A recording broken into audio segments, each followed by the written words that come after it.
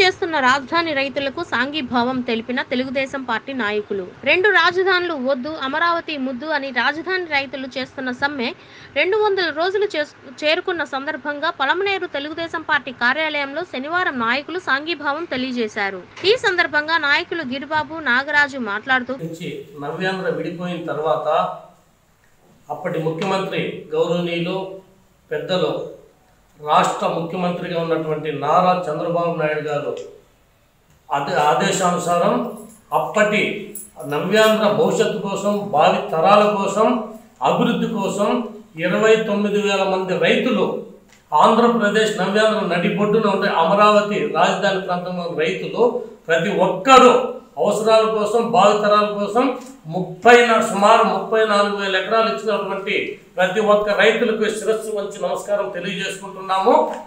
గత అసెంబ్లీ సమావేశాల్లో ముఖ్యమంత్రి జగన్మోహన్ రెడ్డి గారు అమరావతి రాజధాని కాదు మూడు ప్రాంతాల రాజధాని అని మూడు ముక్కలాటలో చెప్పినప్పటి నుంచి ఈ రోజుకి కరెక్ట్గా రెండు వందల రోజులైంది. ఉద్యమం పోలీసులతో అనవే అణచివేత ధోరణితో వాళ్ళని అనుక్షణం నిత్యం వాళ్ళని కక్ష దూరంతో వాళ్ళు ఎంత చేసినా కూడా పట్టు సడలకుండా వాళ్ళ ఆత్మవిశ్వాసం కోల్పోకుండా ఈ రోజుకి రెండు వందల రోజులుగా వాళ్ళ నిరసన కార్యక్రమాలు శాంతియుతంగా చాలా పద్ధతితో ఈరోజు నిరసన తెలియజేస్తున్నారు. ఈ రాష్ట్ర ముఖ్యమంత్రి గతంలో ప్రతిపక్షంలో ఉన్నప్పుడు అమరావతి రాజధాని కోసం ఆయన బలపరిచిన సంఘటన ప్రతి ఒక్కరికి తెలుసు. అవన్నీ మర్చిపోయి ఈ రోజు మీరు ఏదో కక్ష సాధింపు ధోరణితో ఒక సామాజిక వర్గానికో రాజధాని ప్రాంతం చుట్టూ ఆరు నియోజకవర్గాలు దళితులకుండే ఎస్సీ కాన్స్టిట్యున్సీలో. నందిగామ కానీ పామర్ కానీ తాడికొండ కానీ వేమూరు కానీ ఇటువంటివంతా మీరు దళితులపైన కక్ష కట్టేమని రాజధాని వద్దంటున్నారో గ్రాఫిక్స్ అన్నారు చంద్రబాబు నాయుడు ఒక కిటికరాయి పెట్టలేదు అన్నారు. ఈరోజు మీరు అదే చోట్ల కూర్చొని పరిపాలన చేస్తున్నారు. నిన్న మీ మంత్రి శ్మశానం అని చెప్పిన మంత్రి కూడా అమరావతిలో పర్యటించున్నారు ఎంత సుందరీకరణంగా భవనాలు ఉన్నాయి అవంతా కూడా ఎంత రోడ్లు ఎంత అభివృద్ధి చేసినారో ఇవంతా కన్ను కట్టి కూడా మీరెందుకు ఆంధ్ర రాష్ట్ర ప్రజలు మోసం మోసం చేస్తున్నారో? మాకైతే అర్థం కావట్లేదు. శాసన మండలి ఉంది. ఈరోజు ఐఏఎస్ ఐపీఎస్ క్వార్టర్స్ ఉన్నాయి.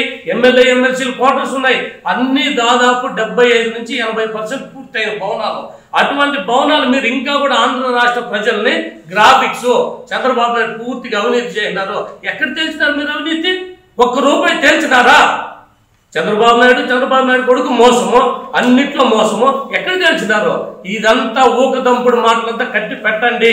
దయచేసి ముఖ్యమంత్రి ప్రతి ఒక్క ఇప్పుడు ఏ వర్గానికో ఏ జాతికో ఏ మతానికో కాదు ఎన్నికలప్పుడే రాజకీయము. ఇప్పుడు జగన్మోహన్ రెడ్డి గారు ఆంధ్రప్రదేశ్ ముఖ్యమంత్రి.